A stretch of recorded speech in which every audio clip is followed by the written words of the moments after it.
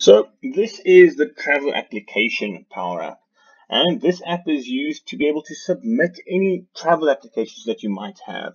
Now, I'm currently recording this during the COVID-19 lockdown, so I don't think any travel is going to happen at this point. But here you can submit where you want to go. So you can specify the specific country that you want to go to. So let's go and create one. You'll see that I'm automatically being populated as the applicant. I can view my approvers now, I don't think this is very secure, but at the moment I am approving, I'm being the first approver and I'm also the second approver.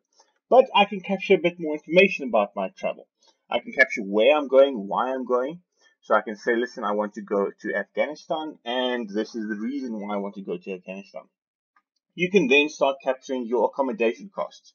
So these will be, for example, your estimates. So your estimate, you're estimating that it's going to be 1,500 euros, um, and you'll you'll only be paying um, two days of the own accommodation as well. You can estimate the amount of transportation that you might need, the amount of money that you might need for transportation, as well as the amount of money that you need for your breakfast, lunch, and uh, dinners. And all this will then add up to your daily allowance. Now, depending on how it's set up in the back end, your Afghanistan daily allowance might be different from your Germany daily allowance. And because of that, it means that it is data driven. So depending on where you are going, your daily allowance might uh, be different. Now, once all this is then captured and then submitted, this will then go to the first approver, which is me.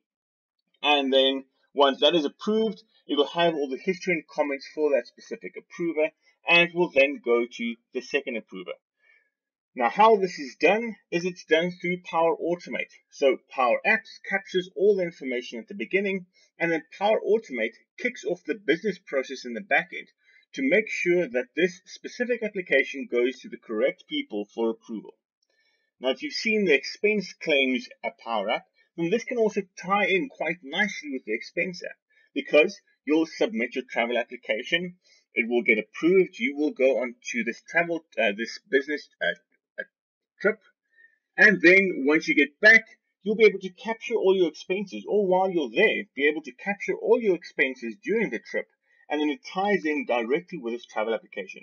So when everything is submitted and completed and approved, this can then go through directly to finance with all the information uh, to see whether you have to actually get paid out for this or not.